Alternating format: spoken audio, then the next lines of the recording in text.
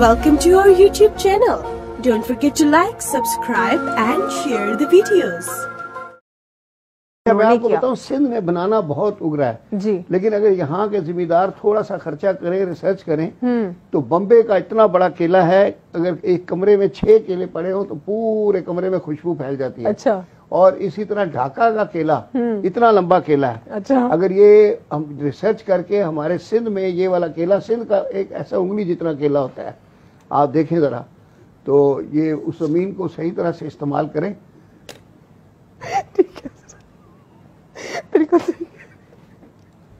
ठीक है आप कह रहे हैं रिसर्च एंड डेवलपमेंट जो है पाकिस्तान में बहुत पुअर है। रिसर्च एंड डेवलपमेंट के ऊपर बहुत ज़्यादा काम होने की सख्त ज़रूरत है। और, sir Thanks for watching this video. Now, I know you're to love this next video. It's the best on YouTube. You can click on the screen right now to watch it, and I'll see you in the next video.